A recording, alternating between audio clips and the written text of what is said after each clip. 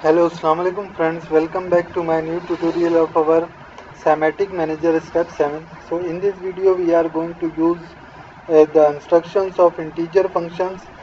So in this video we are going to use that integer function which is include add, subtract, multiply, divide. We also use add, subtract, multiply, divide in mode you will see a double integer. di means double integers, i means integer we are going to use an and integer. So first of all you will see I am creating some symbols. I am going to add add 2 I am going to change it to integer like that. I am going to use a null.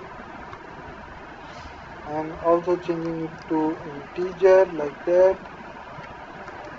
And a divide function like that I'm also changing that one to integer like that. So how these function we are going to use? So let's see that. I'm going to save that and close that one. Now I'm going to use the add there. You will see that. The subtract there. Multiply there. And a divide there.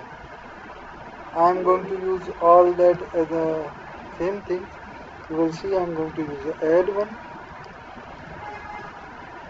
add to and we are going to use that to null like that I'm going to use the null also there and add also there I'm going to use divide there like this and I'm going to use uh, add 2 there like that and uh, like that. And I think I need another something which is also I'm going to use uh, divide 2 like that. It is same I'm going to use a 38 and change it to integer like that I'm going to save that one. And now see divided 2 I'm going to use a divided 2 there and a divided 1 there. And now I'm going to select another which is I think our output. Like that. I'm also going to change it to integer. I'm going to save that and close that and I'm going to use output there like that now you will see the functions of our integer multiplication and division there. So let's see how these things gonna work. I'm going to make it on now. So you will see it's we have already values. I'm going to modify it to 0 you will see that.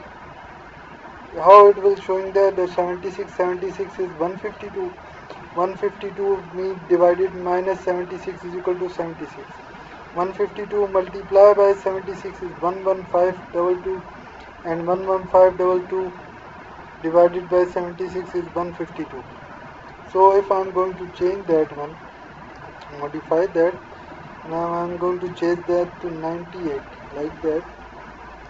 Also I'm going to set there modify it to 1 so you will see. It will changes the result.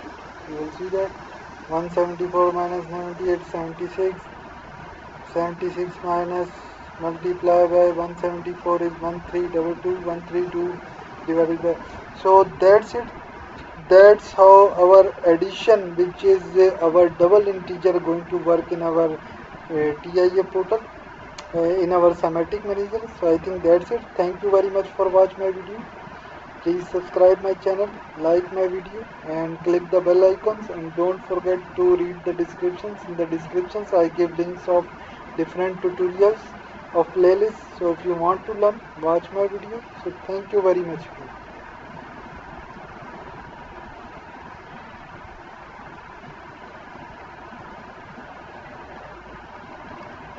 So thank you very